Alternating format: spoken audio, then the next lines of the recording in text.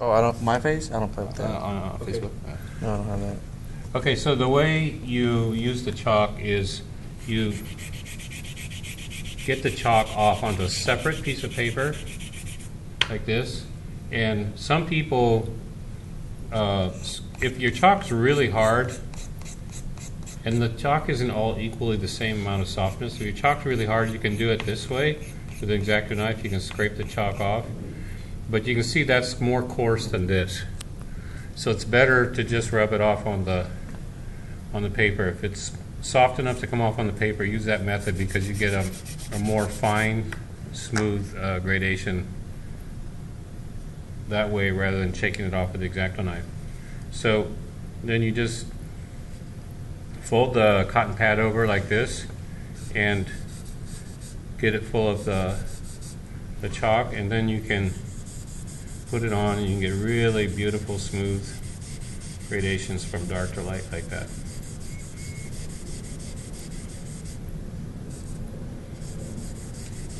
And if you want to get a somewhat sharp edge, you can use this sharpest fold area. You see how I, I fold it really tight and I run it into the chalk and I get an edge.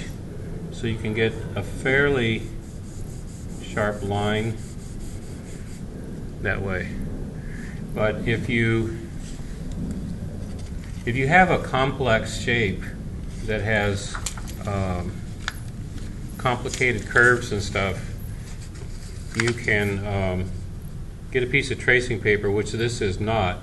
But with tracing paper, you can see the drawing that's underneath, and you can follow the outline by cutting and creating a mask like that.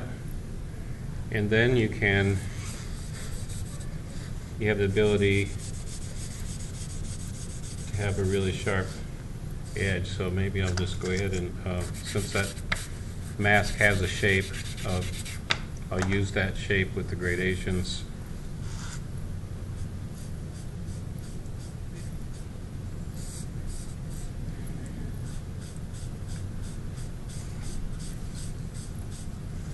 So now you can get a really sharp edge. And this technique using the chalk and the pad translates directly into Photoshop using the airbrush tool in Photoshop. So the assignment that we normally do in class is to redo some of the primitive forms using chalk instead of markers. So if I draw a cube, my pen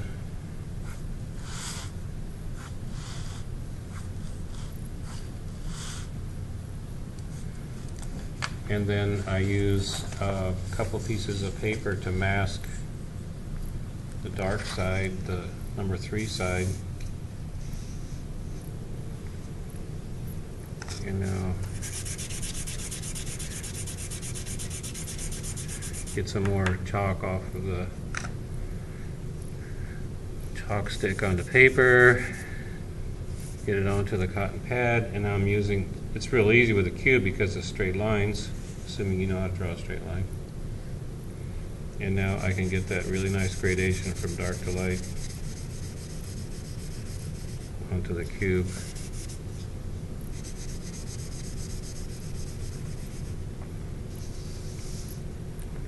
And now do the number two side, a little bit lighter.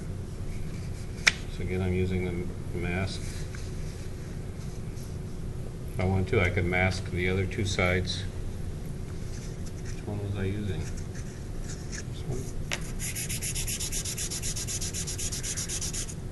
I don't have a pad of paper underneath the paper that I'm putting the chalk onto, and it, I don't like the sound of it, I don't like the feel of it, but I don't have enough paper, so I recommend you have this pad underneath this one too. So here's the number two side, hopefully a little bit lighter. Let's see, no, it's too much the same. So now I have a choice, I can make the number three side darker, or I could make the number two side lighter. So let me show you how you make the number. There's various ways you can manipulate the chalk. So you can make it a little bit lighter by taking a clean part of the pad and wiping some of the chalk off. Some of it will come off. So it's on here. And now it's a little bit lighter. But I still think those two sides are too close to the same, so I'm gonna make the number three side even darker. And the thing about chalks that you can't do with, um, well, you can do it with markers somewhat, but it's harder, is you can mix colors.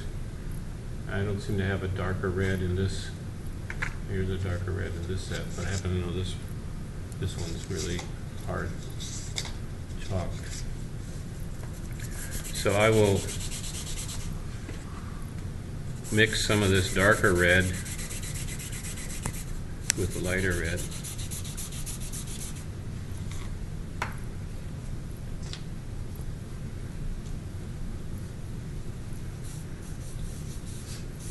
So you can mix colors.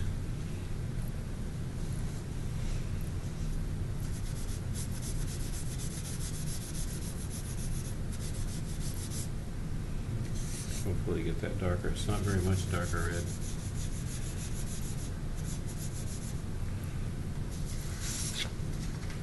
And the number one side is just really light.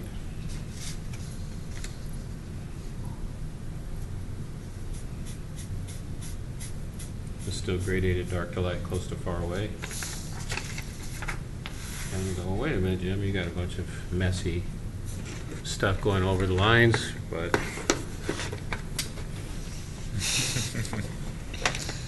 Oops.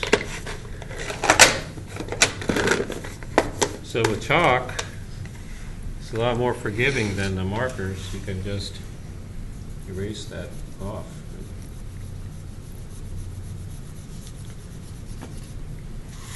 Can you use any eraser, or does it have to be the pink one? Um, actually, the white one's better, and I do have a white one buried in there. Um,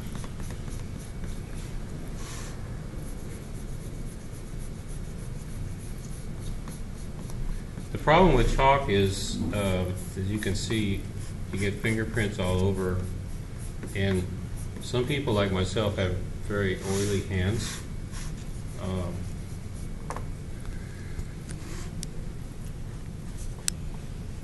The good news about that is I'm going to age more slowly than somebody who doesn't, that has dry skin. But um, the bad news is I get fingerprints all over. So a lot of times I need to use another piece of paper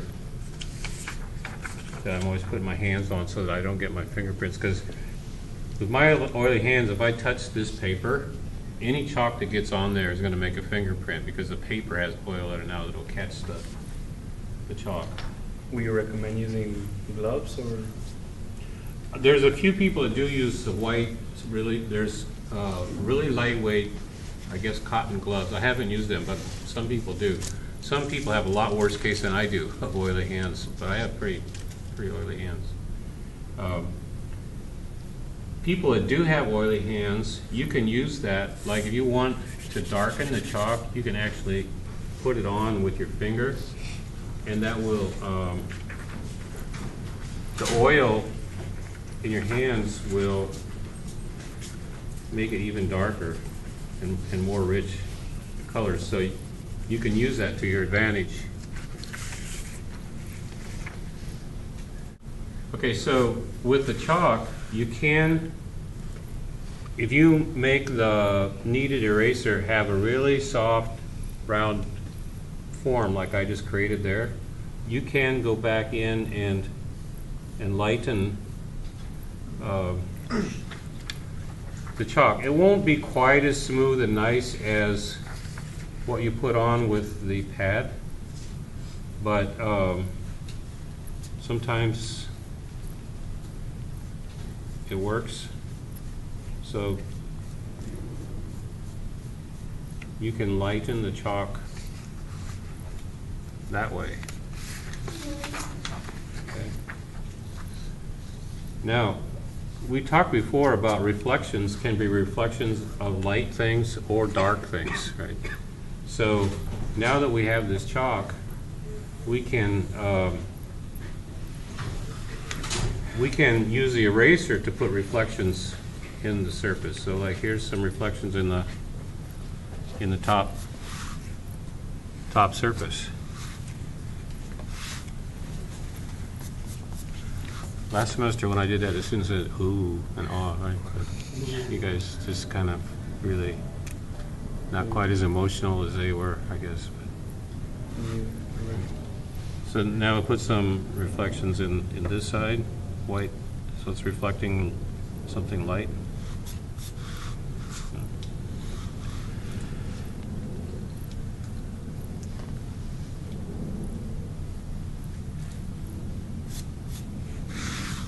And that dragged some of the chalk off the edge, so I go back and erase it.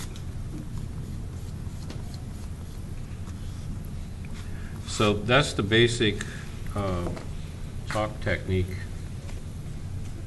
I use a clean pad to brush off the eraser. Is there an alternative we could use besides the, the pads, or do we, or, or should we get the Webril cotton pads? You really should do your best to get them. They're getting harder and harder to get because Yeah. they're meant for printers, offset printers, and there's hardly any offset printers left in the world. But um, they're far superior to anything else you can get. Okay. Um,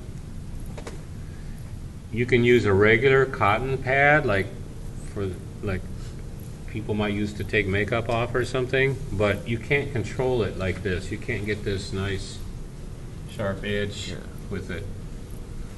And then there's, even Webril makes some pads that are, that you can tear off, off of a roll, and they're not as good as this either. So, um, it's kind of late now, but if you go online, you can buy these online. That's Yeah. probably the easiest way to get them, but obviously it's gonna take Amazon, time. Amazon two day shipping or something.